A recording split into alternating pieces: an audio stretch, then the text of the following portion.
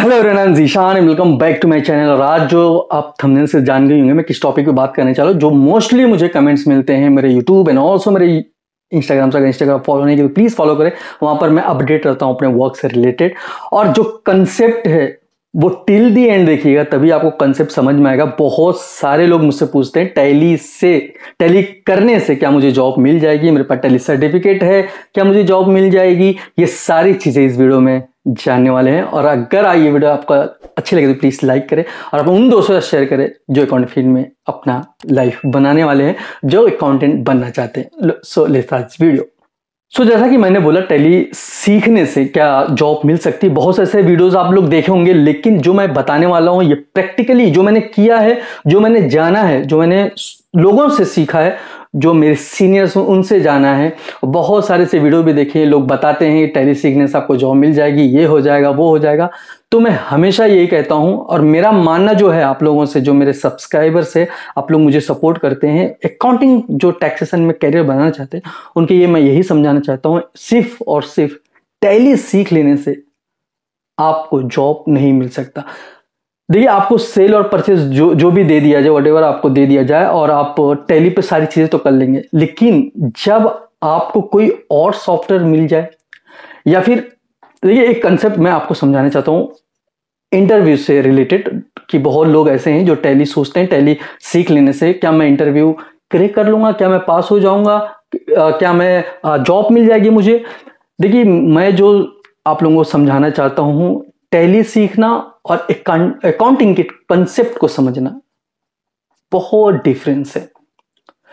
अभी जैसे कि आपको कोई जॉब करना है, आप किसी को किसी के रेफरेंस आप लग गए, आपकी इंटरव्यू तो नहीं होगी। ऑफिसली कि आप रेफरेंस से लगे हैं, किसी के जानने वाले के लगे हैं, आपको जॉब मिल जाएगी। लेकिन जब आपको क्रैक करना हो इंटरव्यू जब आप बैठेंगे, जब फेस करेंगे तो आपके पास थोड़ी ना कंप्यूटर रहेगा, आपको कंप्यूटर के ऊपर बैठा दिया जाएगा कि आप ये एंट्री करके बताओ टैली के अंदर। नहीं, वहाँ कंसेप्ट चलता है डेबिट एंड क्रेडिट का।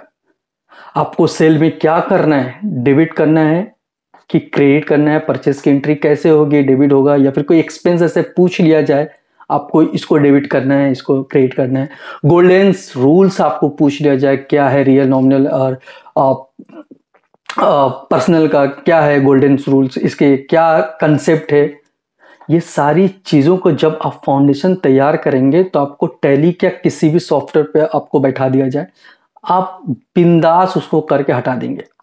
तो यही चीज़ मैं समझाना चाहता हूँ सिर्फ़ टैली सीख लेने से। बहुत लोग ऐसे भी है जो आ, कोई भी परचेज की एंट्री दे दिया जाए और टैली पे फटाफट करके हटा देंगे या सेल की एंट्री परचेज की एंट्री लेकिन अगर आप एक जेवी के माध्यम से बोल दूँ कि आप परचेस करके दिखाओ इसको एंट्री तो आदमी अटक जाएगा।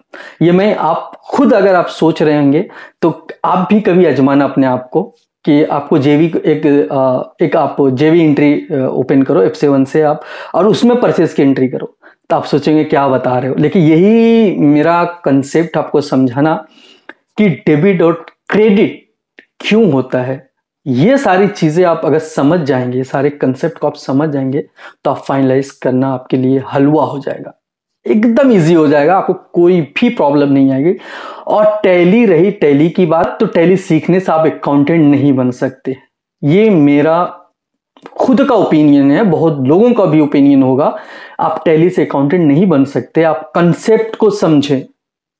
बैलेंस शीट को पीएनएल को फाइनलाइज करें। ट्रायल बैलेंस को आप सीखे, क्यों डेबिट साइड हो रहा है लाइबिलिटीज क्यों डेबिट होगा क्यों एसेट क्रेडिट होगा, क्यों एसेट डेबिट होगा, क्यों एसेट क्रेडिट होगा, ये सारी चीज़ों को आप जब जानेंगे, तब आप समझ जाएँगे कि टैली इज़ नॉट इंपॉर्टेंट कि आप सिर्फ़ टैली सीख लें। बहुत लोगों के पास सर्टिफिकेट भी होता है जो हमारे यहाँ काम करने आते हैं उनके पास बाकायदे टैली का सर्टिफिकेट होता है। लेकिन जब कंसेप्ट को समझा जाता है तो सामने आ, समझ में आ जाता है कि कंसेप्ट अभी क्लियर नहीं है। इसी कंसेप्ट को क्लियर करने के लिए आपको फाउंडेशन को अच्छा करना है डेबिट क्रेडिट को समझना है गोल्डन रूल को समझना है कब अप्लाई हम क्या करेंगे इसके क्या कॉन्सिक्वेंसेज होंगे, ये सारी चीज़ों को जानना ज़रूरी होता है, अगर आप अकाउंटेंट बनना चाहते हैं।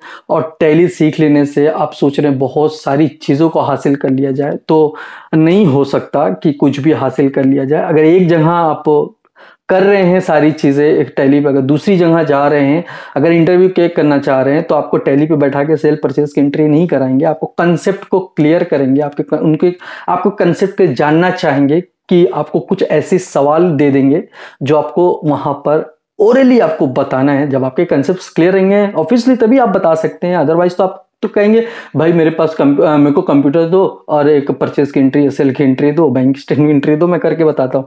ऐसा नहीं होता इंटरव्यू में। आपको कंप्यूटर नहीं दिया जाता, आपको ओरली बताता है। लेकिन बहुत लोग अटक जाए उसी चीज़ को मैं समझाना चाहता हूँ कि टैली सीखना टैली सीखने के बाद क्या मुझे जॉब मिल सकती है? देखिए, और भी जानना बहुत ही ज़रूरी मुझे, जैसा कि मैंने बोला कि हमारे यहाँ ऑफ़िस पे आते हैं, बहुत लोग ऐसे फ्रेशर जो टैली को सीख लिए रहते हैं, फिर भी कंसेप्ट क्लियर नहीं होता। उनको और अच्छा बनने के लिए वो सीखते हैं इंटर्नशिप करते हैं, अच्छी तरीके से वो अपने कामों को लेते हैं सीरियसली और काम करते हैं। अगर आप भी अपने कामों को सीरियसली लेंगे और टैली के माध्यम से आप जॉब को फाइंड करेंगे तो मुझे नहीं लगता आपको मिल जाएगा कोई भी जॉब कुछ लोगों को मिल जाती है, लेकिन बहुत लोगों को नहीं मिल पाता, जिसके कारण वो सीखते हैं कंटेंट टैक्सेशन पे वर्क करते हैं, वो सारी चीज़ें समझते हैं एंड देन उनको जॉब मिलता है। तो मेरा जो सिखान, जो मैं बोला, उसे अगर इम्प्लीमेंट करेंगे, आप सीखेंगे और भी चीज़ें, आप डेबिट एंड क्रेडिट के माध्यम से समझेंगे कि एक्चुअली में होता कैसे कैसे काम करता है रियल के क्या कॉन्सिक्वेंसेज है पर्सनल क्या है ये सारी चीज़ें समझेंगे तो आई एम श्योर का, कि जो अकाउंटिंग में, जो आपकी ग्रीप होगी, वो बहुत अच्छी होगी। आई एम श्योर ये वीडियो आपको अच्छी लगे चलिए तो अपने दोस्तों शेयर करें और मेरे वीडियो को लाइक करना मत भूलिए फॉर मोटिवेशन मित्र नेक्स्ट वीडियो में, तब तक के लिए टेक केयर बाय बाय